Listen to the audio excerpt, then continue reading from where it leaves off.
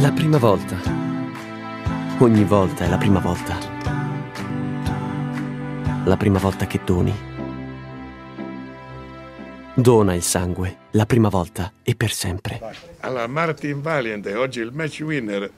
Eh, purtroppo match winner no, semi match winner perché è venuto fuori un pareggio 1-1, però l'importante è questo gol che è stato prezioso in un momento topico della partita. Ma magari match winner. Eh, semi ho detto purtroppo. Sì, purtroppo sì. Eh,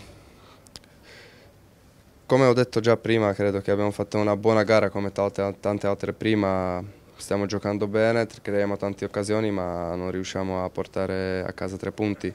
Che ci manca, ci manca tanto, è da tanto tempo e quindi bisogna rivedere magari qualcosa e dare sempre qualcosa di più perché se no eh, non arriva la, la vittoria saranno i tempi duri come dicevamo prima, terzo gol in maglia rosso-verde, secondo qui al Libero Liberati. Raccontaci un po' eh, che cosa hai provato, quali sono state insomma, le tue emozioni a questo gol e poi se c'hai una dedica particolare. No, ma il gol eh, è arrivato anche per caso perché era una respinta, mi sono girato, ho, ho tirato come ho provato già anche partite precedenti, meno male questa è entrata e la dedica, io gol dedico sempre a mio nonno, ma questa volta la dedico a Simone Sinico per la sua scomparsa, un ragazzo, ragazzo che conoscevo di vista, quindi è per, per, la sua famiglia, come un piccolo sostegno.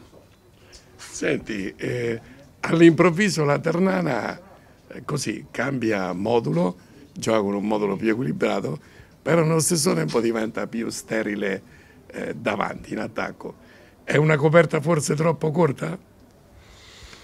Ma questo non so dirti, abbiamo cercato di giocare diciamo, con, uomini, con i più uomini avanti, abbiamo fatto più gol, però anche abbiamo subito di più.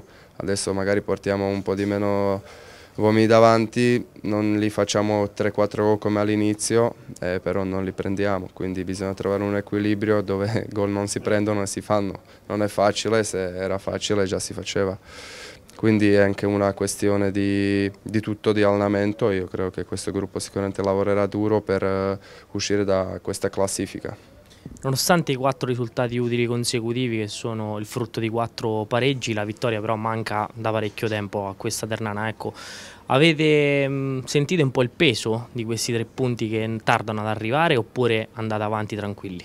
No, ma dobbiamo andare avanti tranquilli perché se uno non è tranquillo non può lavorare bene però sicuramente la vittoria ci manca, sono tre punti che in questa classifica cortissima fanno differenza, quindi bisogna sempre essere concentrato, aver voglia di lavorare e io credo che i tre punti lavorano e possono essere una svolta di campionato.